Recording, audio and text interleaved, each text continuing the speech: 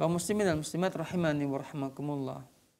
Ketika Allah perintahkan kepada kita kewajiban salat, Allah menyebutkan wa aqimu salata wa atu zakah warka'u ma'ar raki'in. Dirikanlah salat, bayarlah zakat dan adalah kalian ruku bersama orang-orang yang ruku. Ini menunjukkan bahwa kita kaum laki-laki itu sangat dianjurkan untuk mengerjakan sholat lima waktu secara berjamaah di masjid. Masjid yang kita bangun itu bukan hanya sekedar bermegah-megahan, bukan bangga dengan besarnya, bangga dengan cantiknya, bukan. Masjid yang kita bangun tujuannya untuk kita makmurkan, kita ramaikan dengan cara sholat berjamaah. Maka oleh sebab itu laki-laki itu harusnya lima waktu dia jaga di masjid. Bukankah Nabi menyebutkan, memerintahkan kepada kita untuk mengerjakan secara berjamaah di masjid. Nabi katakan bahwa sholat berjamaah di masjid lebih utama 27 kali lipat dibandingkan sholat sendirian. Orang yang sholat ke masjid secara berjamaah Nabi sebutkan setiap langkahnya diberikan satu pahala, dihapuskan satu dosa, diangkat satu derajat. Allah sebut siapkan bagi dia tempat di sorga dengan cara dia sholat berjamaah di masjid lebih utama.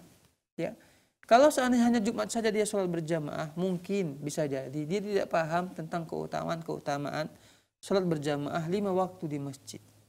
Dan seorang istri juga harus memberi motivasi, menjelaskan secara hikmah lemah lembut kepada suaminya bang ataupun pak ini sholat berjamaah bagi laki-laki sangat dianjurkan. Lihat bagaimana Nabi mengatakan tentang keutamaan sholat berjamaah ini harus mengerjakan secara berjamaah di masjid.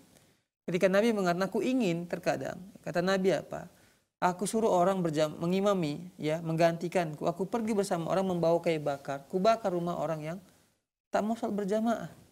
Ini Nabi nggak pernah membakar rumah orang, tapi Nabi ingin menunjukkan bahwa pentingnya bagi seorang muslim laki-laki untuk mengerjakan sholat berjamaah lima waktu di masjid.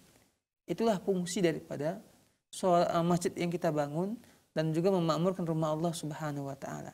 Kalau tidak, ya kita khawatir nih. Masjid-masjid kita ya itu besar tapi kosong dan ini banyak terjadi di beberapa masjid. Masjidnya besar tapi ketika masuk ke masjid yang sholat cuma bisa dihitung dengan jari. Satu sab, satu sab setengah, dua sab begitu. Sedih kita melihatnya.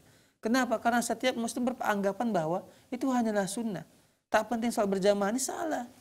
Kita harus beranggapan dan berkeyakinan dan juga paham bahwa kita laki-laki harus sholat berjamaah di masjid. Kita makmurkan rumah Allah Subhanahu wa taala.